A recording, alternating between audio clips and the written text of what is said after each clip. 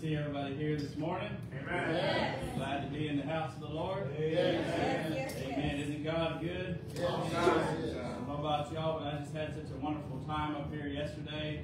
It's Yes. so good to see God's people come together in such a wonderful atmosphere and environment. You know, everybody working together and one mind and one accord. So many smiling faces, and you know they even started singing and praising the Lord in here, and it just makes you just never want to leave. You know. But aren't you thankful that God's still here today? Amen. We can worship Him in spirit and in truth, and He will be here in the midst of us. I'm going to read a scripture. I had it marked, but I think my little marker fell out. But I believe it was in Psalms, and it just said, "This is the day that the Lord has made. Yeah. Let us rejoice and Yeah. be glad in it." You know what? We got a reason to rejoice today. Amen. When Jesus sent his disciples out to preach, they were out casting out devils in his name, and he said, Rejoice not that the spirits are subject to you through his name. And he said, Rather rejoice, because Yes. your names are written down in heaven. You know, Amen. God is so good. We're saved today. We're Amen. saved by His blood. We're saved by His mercy. We're saved by His grace. And He is worthy of the praise. We can rejoice today because we have a hope that's beyond this world. Amen. We have something to look forward to. And I came here today to worship Him. Lord, we thank you.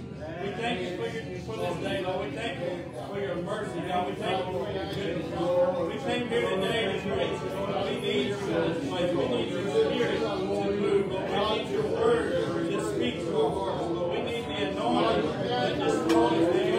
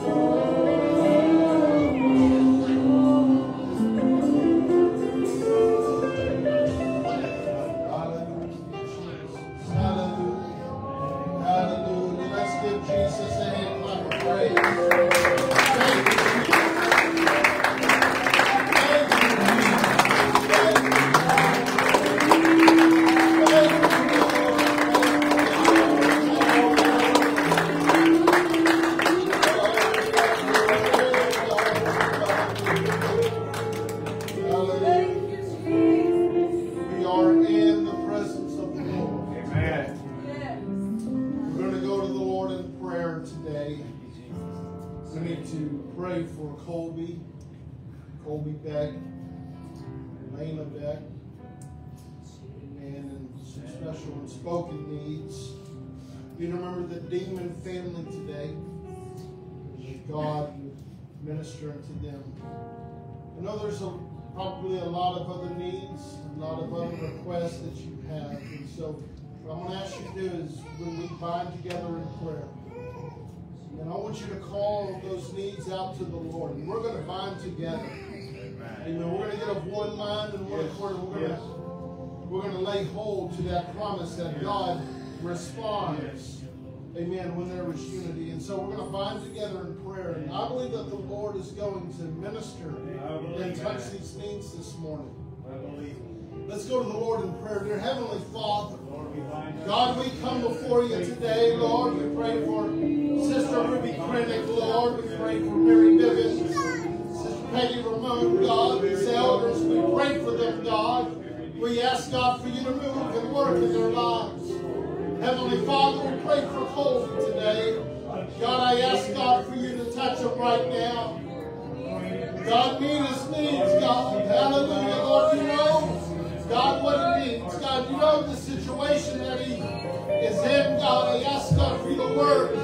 Lord, have your way, God. Touch David today. Touch, God, the, the special needs and requests, God. Lord, I ask, God, for you to move and work. God, touch the Demon family today, God. Move by your Spirit, God, let your angels be dispatched. Heavenly Father, God, I bind together, God, with every other believer here today, as they are lifting their needs up to you, God. Lord, I ask, God, for you to move and work.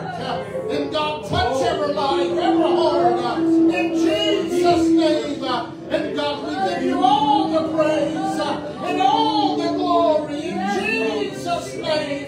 And Lord, we thank you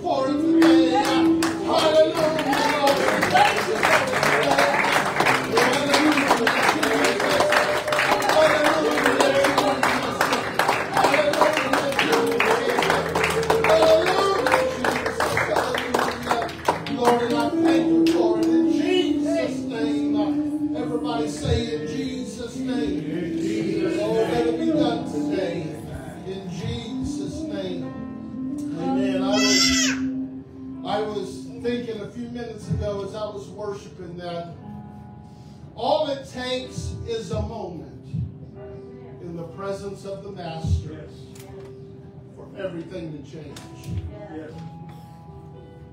I've said this before, and it's not original to me. I heard a preacher say one time, he said, it took the devil a lifetime to bind and enslave Legion. There were thousands of demons that filled the body of that man. And it took the devil a lifetime to get him to that point where he was so crazed, was out of his mind. But it took Jesus like three seconds. All he said was, Come out of him. It took Jesus three, it just took a moment. Yes. In the presence of the Master to undo Yes. years of what the devil had tried to you, chains that the devil had tried to place upon that man. Yes. Right. And you're in the presence of the Master today. You're in the presence of the King. Amen. Amen. And there is, like Brother Moody taught this morning, it's on the table. Yes. Whatever you need. Oh, what, what you need this morning is on the table. You just got to come to the table. the table. Amen. God wants to give you, amen. He wants to meet your need today. We're going to ask our usher to come. We're going to give you an opportunity to give and worship and giving. We'd like to say that we're so very honored to have Sister Nana's mother, Amen. Ernestine, in service with us today. We're very honored that you're here. It's good to see my good friend, friend Stephen Beck and Jessica and uh, and the little guy. I, I have the memory of a goldfish, so you're gonna have to tell me his name one more time. But uh, so glad you're here. So glad. I, I believe this is Jessica's daughter and friends, we're so thankful that you're here yes. today. Amen. Amen. You're blessed by the Lord. Amen. Praise God. Praise God. Let's pray, Lord Jesus. God, we thank you for this opportunity, Lord, to Lord to worship in our giving, God, to return back to you what is yours, Lord. God, I ask God for you to bless God everyone here, God Almighty, and bless this offering to the furtherance of your kingdom in Jesus' name. Amen. You may bring your offering to the Lord. Amen. Praise God. I believe Sister Emily has a few announcements. Praise the Lord. While you are worshiping and giving, um, just a few announcements. Um, after service this morning, um, we are going to have a quick media team meeting. So if you are involved in the media in any way, I need to see you after service. So please make sure you're here. Um, and then this next Sunday is uh, Father's Day. It's already here. We're halfway through the year. And uh, it's going to be a special time. Also, we had, um, Pastor Don and I had talked because when we had scheduled things for um, the month of June, we did not pay attention to the fact that uh, several of our events we had placed on the Saturday before Father's Day. So, Royal Rangers and Men's Fellowship are going to be moved to Saturday the 22nd. Um, same times, 3 to 6 for Royal Rangers, and then uh, Men's Fellowship will be, excuse me, at 6 o'clock. So you don't want to miss that. However, I really went back and forth over Our Ladies event, and I did not feel, initially I was thinking, oh, I have to cancel it because of 22nd plant, and I was going back and forth, and I did not feel like I needed to cancel it. So it is going to be the 15th, but we're going to back up the time from 12 to 2 because I'm sure lots of families have our ladies event. We only get together every other month, and I think it's important for us to gather. So if you are available on this next Saturday, the 15th, from 12 to 2, um, our ladies are still going to get together. Um, it's going to be here at the church this time, but I did want y'all to be aware of that. I know I told y'all I was trying to decide what to do. And that's what we are going to do. And then at the end of the month, we have revival. June 28th through the 30th. That Friday will be at 7.30, Saturday at 7.30, and then Sunday will be at 11 a.m. We won't have Sunday school that morning because it is a fifth Sunday as well. And every fifth Sunday, um, we have a meal and fellowship after church. Um, so, uh, and revival is going to be with uh, Brother Childs. Uh, again, we are looking forward to that. So, as far as dishes to bring, this is going to be just whatever you would like to bring. Um, cold dishes would be wonderful because it's June and it's hot. So, if you want to bring things like watermelon, cold pasta salads, I mean, obviously, we probably have to have some warm food because not everything can be cold unless we're just do sandwiches. But um, whatever you would like to bring, um, and that's going to be a wonderful, wonderful time uh, after the service. Um, and if you have any questions about anything, feel free to ask. Amen. So if you want to bring cold chicken and cold pizza, cold, hey, that's all right with me.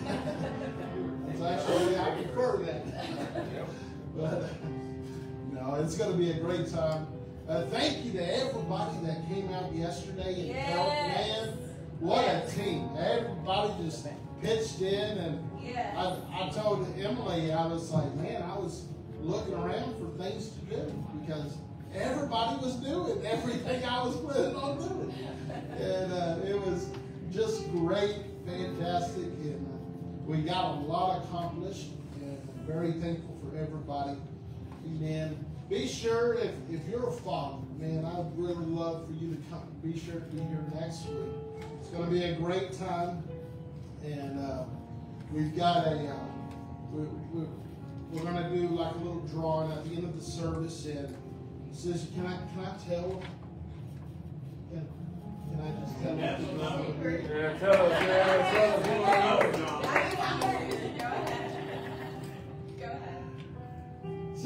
There, there is a local ranch in Moody, uh, and there, there's an apostolic family that own the ranch, and uh, they uh, they put together these meat boxes, and uh, it's got like New York strip, ribeye, and, it's three pounds of beef, and got a sirloin in there. And anyways, they gave us a really great deal, and so we we the church bought a uh, one of those boxes, and it's going to go home with one of the fathers. One of the, but you got to be here. you got to be here to get it. And uh, but one of the fathers, we're going to put everybody's name in a little bowl. We're going to draw a name, whatever name comes out, they get take home that box. And so it's uh, it's all grass fed and no antibiotics, nothing in in the cows. They're uh, very naturalistic. They like to just uh, take care of them, and so it's, it's a great little gift. So be sure and try to be here for Father's Day this next week. Amen. I'm, I'm excited. When Emily's, I did not come up with the idea. I don't come up with great ideas. Emily came up with that idea, and I was like, "Ooh, that is so good." what father's really going to be enjoying Father's Day? And so, uh, but it's going to be a great, great time, and we're going to have a great uh, pastor will be teaching Sunday school. We are going to be having Sunday school next week. Pastor will be teaching, and uh, Brother Moody's going to be ministering for Father's Day. And so that's going to be a great time. Yes. Great time in the Lord. I'm just really excited and looking forward to what God is going to do. Amen. Praise God. Are you thankful for the Lord today? Yes. Yes. Amen. The Lord, He is doing great things. Yes. Yes. He is. Amen. But I believe He wants to do greater. Amen. The scripture says in Genesis that the Spirit of the Lord moved upon the face of the waters. But everything changed when He spoke. The Spirit prepares the way for the Word. And when the Word goes forth, if you'll receive the Word, if you will receive the Word, God can change your life. He can transform. He can do greater things than you could ever imagine. And so we are so very honored to have Brother Kelton Carter, brother and sister Carter. I, I went up to Danielle earlier and I said, Sister Carter, it's so good to see you. She said, Well, I'm here every week. She's my niece. She, she talks to me like that a lot. we, we love Sister Carter, Brother Carter. Brother Carter, will you come minister the word of the Lord to us today?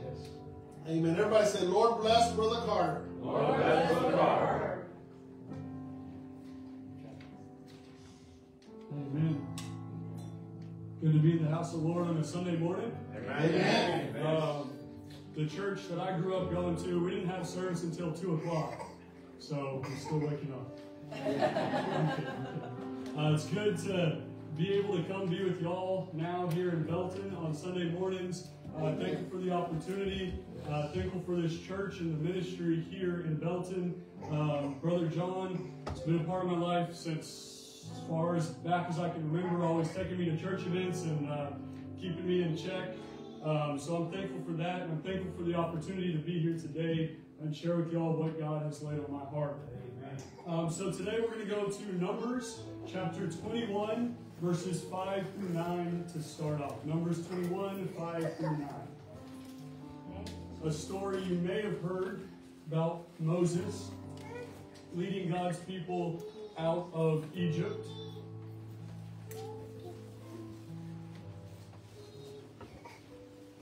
There's a lot in this passage, uh, more than just the face value. We're going to look into that today. So, Numbers 21, 5 through 9. And the people spake against God and against Moses. Wherefore have ye brought us up out of Egypt to die in the wilderness? For there is no bread, neither is there any water, and our soul loatheth, loatheth this light bread. And the Lord sent fiery serpents among the people, and they bit the people, and much people of Israel died. Therefore the people came to Moses and said, We have sinned, for we have spoken against the Lord and against thee. Pray unto the Lord that he take away the serpents from us. And Moses prayed for the people, and the Lord said unto Moses, Make thee a fiery serpent, and set it upon a pole. And it shall come to pass that everyone that is bitten, when he looketh upon it, shall live. And Moses made a serpent of brass and put it upon a pole. And it came to pass that if a serpent had bitten any man, when he beheld the serpent of brass, he lived. Brother John, would you pray? Dear Heavenly Father, we thank you, God, for this opportunity, Lord, to be in your presence. Lord Jesus, I ask God for you to anoint Brother Kelton today as he delivers your word. Anoint your word as he goes forth. Let it find fertile ground that, Lord, your word, may bring forth fruit. In Jesus' name, amen. Amen. You may be seated. So, in this passage in Numbers, uh, there's a lot, a lot of different things that we can learn um, more than just the surface level. Uh, we can see that, quick overview, stick with me, uh, we should not doubt God. Amen. We should not doubt God. We can also see that we shouldn't take for granted what He has done for us. Amen. We should not desire to go back to where we came from. That's right. And even if you do go back, or if you haven't found the Lord yet, you can be delivered as long as you make an effort, as long as you claim your deliverance. Amen. So we're going to look at all of these different topics a little bit at a time. Um, but before that, we're going to look at the situations that led up to this point where the snakes were sent among the people of Israel uh, by God. And in order to do that, we're going to look at quite a few scriptures um, referencing the, the traveling of the children of Israel, the children of God, out of Egypt, led by Moses. Uh, so, first off, we'll go back to Exodus chapter 16 and verse 4.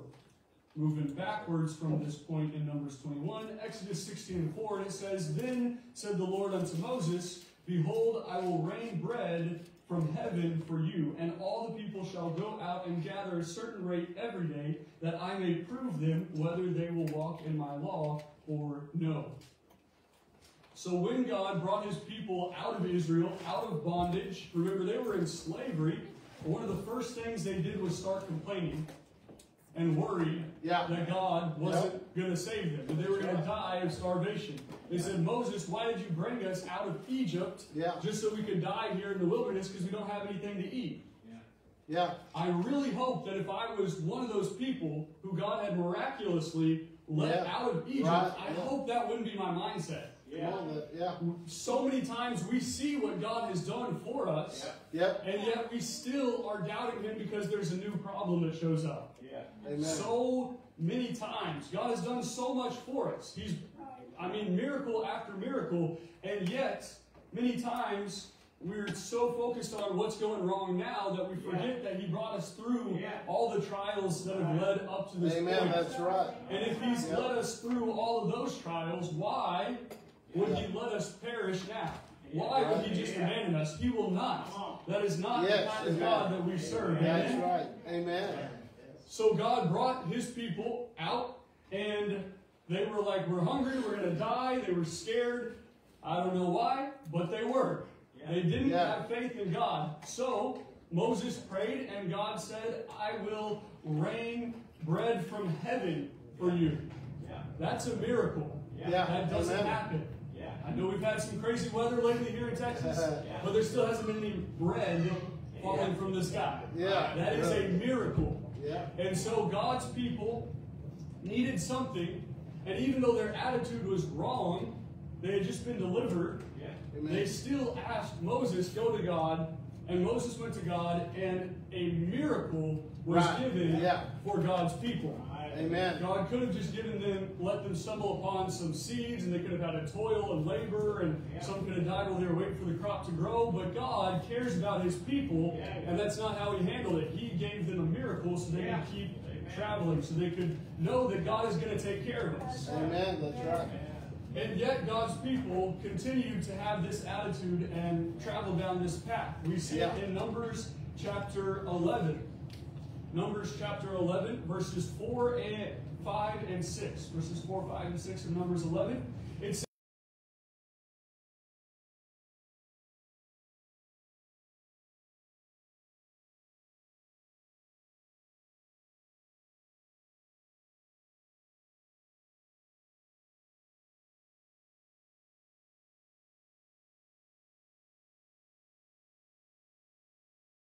whatever Egyptians told them to do.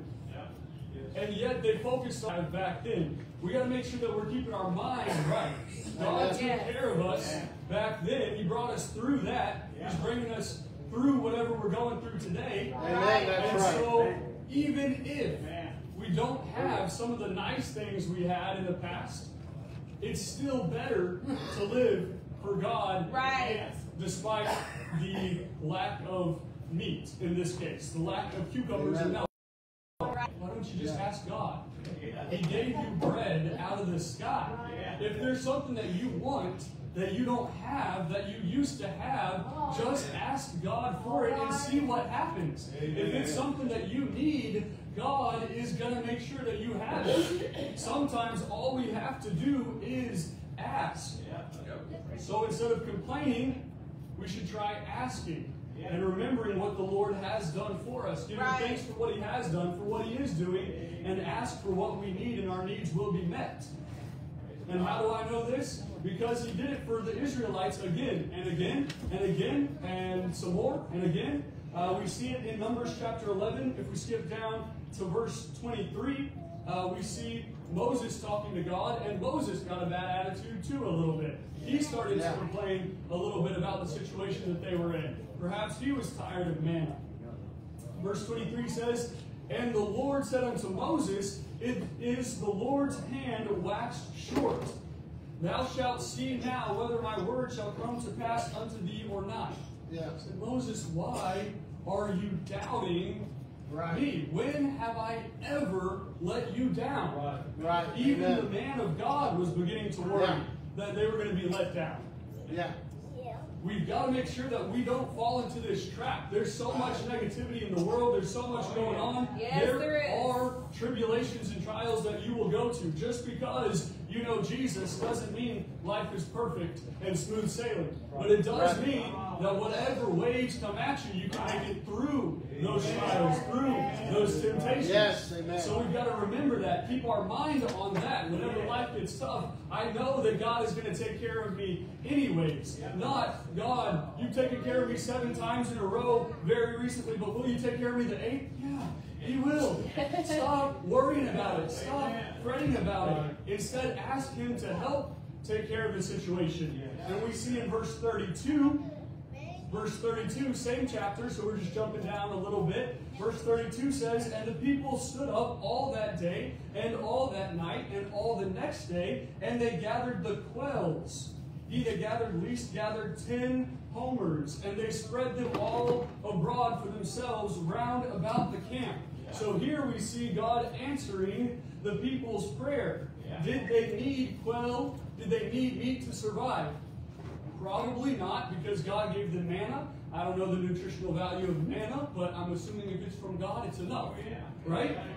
But they wanted quail, and God desires for his people to be blessed. He desires for us to uh, enjoy the benefits of living for God. So if we need, or even occasionally when we want something, God will give it to us uh, to show his goodness, to show that he will take care of us, and sometimes just because it's nice to have, and he cares about us. He is our heavenly Father, and a father likes to make his kids happy. Amen. I'm assuming. I know my dad did. I'm not a dad yet. Working on it. No, um, um, but we know that God will take care of his people and give us more than we need to basically survive, more than our basic needs. And we see that here time and time again. God saved people from slavery. He gave them bread from heaven. That's a miracle. He made quail show up so that they could eat quail, a lot of quail, more quail than they need. And yet God's people still were worried and still questioning God. So we can learn that we need to not doubt God. He's taken care of He's taken care of us this far, and He will take care of us more. We are His people. Amen. Yeah. We know that what God has done for us shouldn't be taken for granted. If God does a miracle in your life and gives you manna, whatever you need, then we need to be thankful for that. Even if we don't have what we want. If Yeah. we get a car that gets us from point A to point B, but it's not the nicest car that we wanted, we'll be glad that God bless you with a car that gets the job done. Amen? Whatever, where, uh, whatever situation we're in, we need to be content because of God's blessings. Right? Amen. So, as we continue to watch the children of Israel, uh, we see in chapter 20, one chapter before the fiery serpents came among the people, we see them complaining again. Numbers 20, verses 2 through 4, it says, And there was no water for the congregation. And they gathered themselves together against Moses and against Aaron, and the people showed with Moses and spake, saying, Would God that we had died when our brethren died before the Lord. And why have ye brought up the congregation of the Lord into this wilderness, that we and our cattle should die there? Why would they ask this question again? They said, We're going to die of starvation, and God gave them bread. They said, We're going to die because we don't have meat and we want meat, and God gave them meat. They were dying when they were in slavery because they were in slavery. They weren't taken care of. And yet, here they are. Is God going to kill us here by not giving us water? No. Instead of complaining and worrying and fretting, just ask God for some water, and it will be there. Thank you, God would not give them manna and quail and do those miracles just to let them die of thirst. Yeah. So, Numbers chapter 20, let's go down to verse 10 of the same chapter to continue the story. Moses and Aaron gathered the congregation together before the rock. And he said unto them, Hear now, ye rebels, must we fetch you water out of this rock? And Moses lifted up his hand, and with his rod he smote the rock twice, and the water came out abundantly, and the congregation drank, and their beasts also. Yeah. God takes care of his people. Even if your attitude's not quite right, if we can fix it, if we can bring ourselves to ask God anyways, even though we're upset, even though we shouldn't be upset and we're upset, if we can bring ourselves to talk to God anyways, He will meet our needs wherever they are, wherever they are, whatever the situation is. Even if it seems impossible to have bread in the desert, God will make bread in the desert. He'll make it fall out of the sky. I don't know how that works. I don't need to know how that works. It's God. Amen? Yes. God saw them through again and again with absolute miracles. To fiery serpents coming in among the people, and the people finally did the right thing.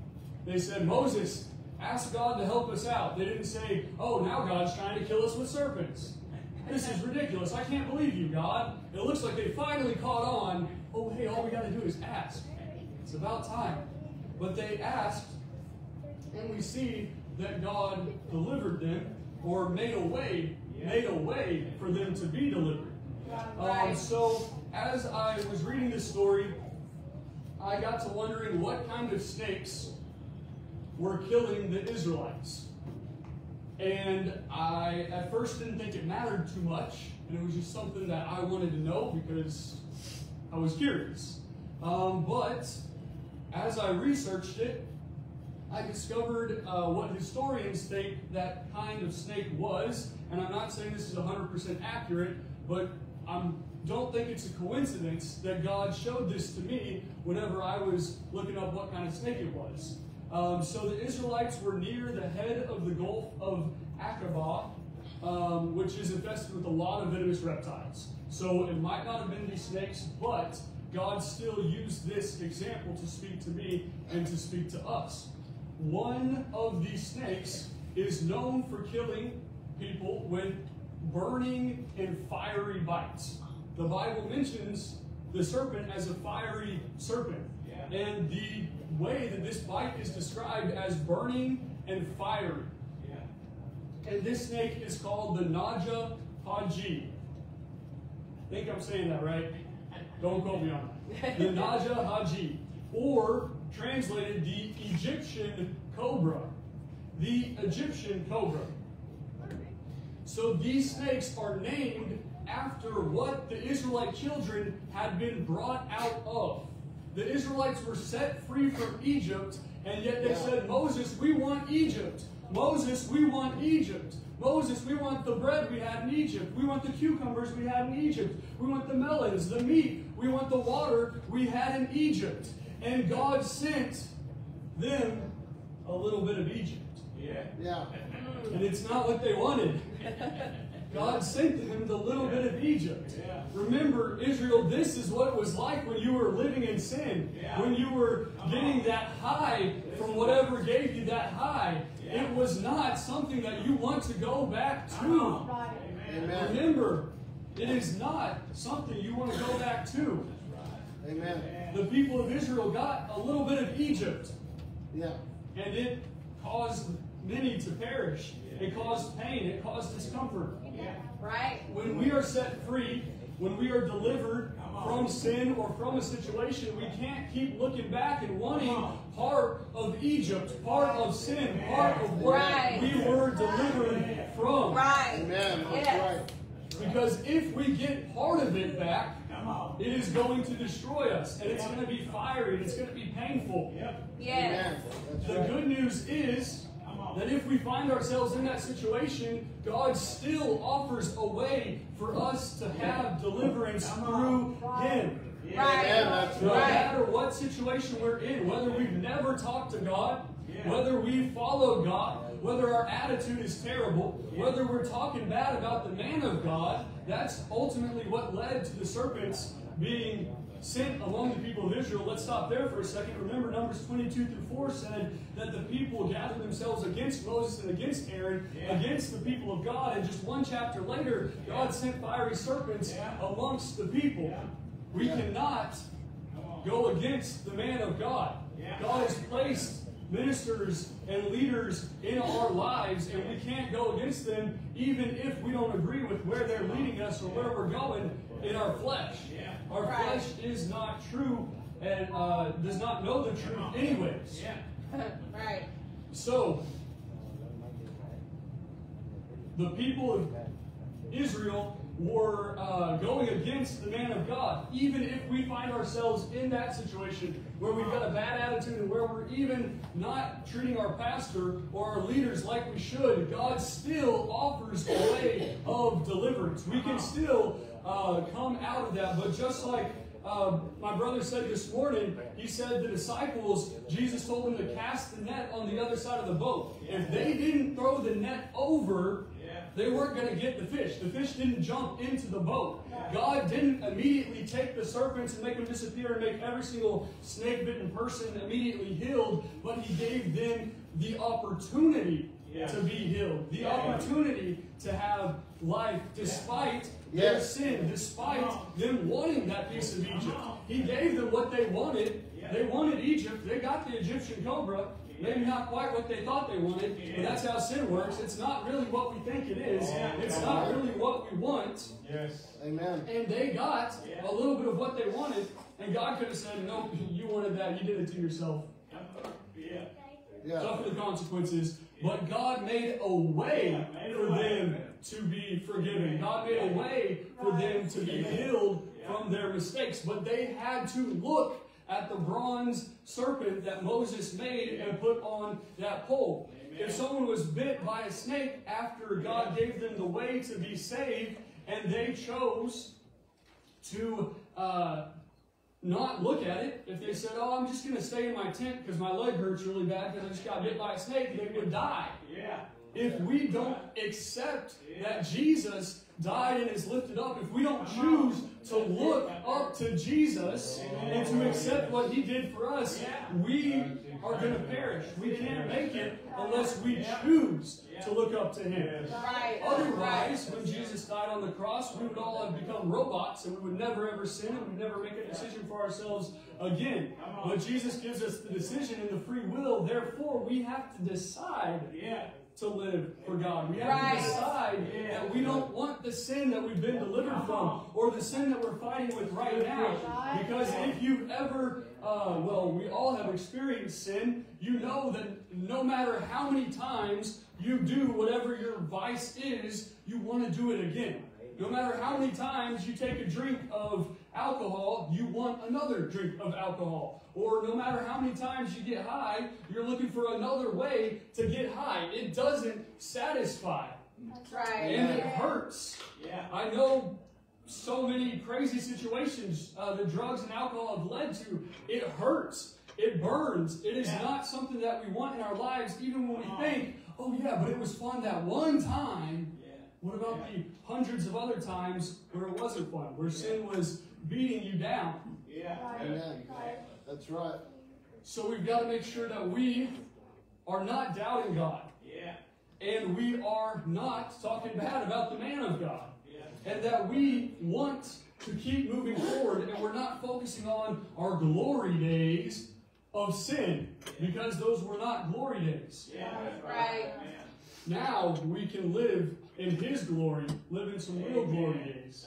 But if we're so focused on our past and what we've done in our past, the Bible says uh, that we are fools. In Proverbs chapter 26 and 11, it says, As a dog returneth to his vomit, so a fool returneth to his folly. Yeah. Gross. Glad my mom's not here. She likes all Bible verses, but that one she might not like as much as others. Because it's gross. Um, but that's really what it's like. That's what like going back to sin is. It's gross. It's not something that we uh, benefit from in any way. So a fool returneth to his folly. The children, when they some deaths. Amen. Hebrews chapter 12, verse 2 is the uh, modern day example of what we should look to. We don't look to a bronze serpent anymore, but instead, he- Hebrews 12 and 2, looking unto Jesus, the author and finisher of Right, our faith. right, Who for the yes. joy that was set before him endured the cross, despising the shame, and is set down at the right hand of the throne of God. Looking unto Jesus. Whatever Yes. situation you found yourself in today, look unto Jesus. Sister Danielle, if you come at this time, music, music, if you come at this time, today I want to remind you that you can look to Jesus. No matter what situation you found yourself in. If you, like the children of Israel, are in one of these steps that they took on their way out of sin, if you're stuck in the mindset of uh, doubting that God will really take care of you, if you uh, are just taking for granted what God's done, if your attitude just isn't right and you just don't know why, because sometimes we just wake up on the wrong side of the bed. It happens. God can help with that too. Yes. We've got to remind ourselves that I don't really want to go back. Yes, maybe there was the pleasures of sin are but for a season. Maybe for a small period of time it was a little bit fun, but don't focus on that. Focus on the regrets, the parts that uh, that what what it was really all about, what slavery really was like. It's not something that Right. any of us want in our lives. Amen. And if we, if you've never made it out of that slavery, never made it out of that bondage, then look unto Jesus. If you're falling back into the same struggles again and again and again, come look to Jesus. He made a way for you to be delivered. Amen. Amen. Let's stand. Let's gather around. Let's pray. Let's come look to Jesus. Let's turn our eyes to Jesus. Put your eyes back on the one who can save you, not on the sin that you came from, not the situation that you came out of. Be encouraged today that God will take care of you. You've seen Him take care of you before, and you know that He will take care of you again. He's done it before, and He will do it again. So you don't have to worry about life. You don't have to worry about the situations, and you don't have to doubt Him because He is going to take care of you. Don't look back at Egypt because if we get a little bit of Egypt again in our lives, it's like the fiery serpents. It's going to burn, it's going to hurt, and we're going to have to readjust and reset our eyes back to Jesus. Going back to sin, going back to Egypt hurts, but God is faithful and just to forgive us no matter how many times we make a mistake. Just look to Jesus today and ask for forgiveness and ask Him to help your attitude. Whatever you need today, Jesus is the answer. Let's look to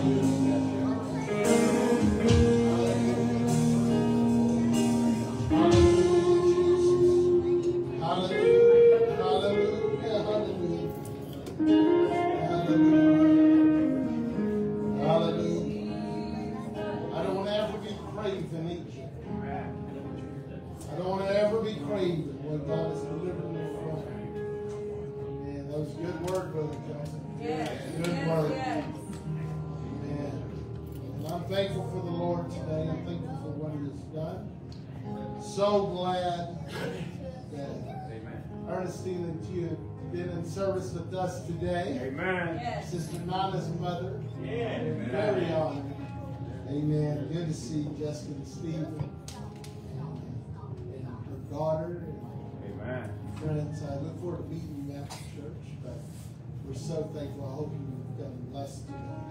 The Lord loves you. Amen. He wants to do great things in your life. You know, in Jeremiah 29 11, me and Brother Danny, we were talking about this last night. Jeremiah said, He said, I know the thoughts, the Lord was speaking through Jeremiah. I know the thoughts I think towards you, saith the Lord. Thoughts of good and not of evil. Give you an expected.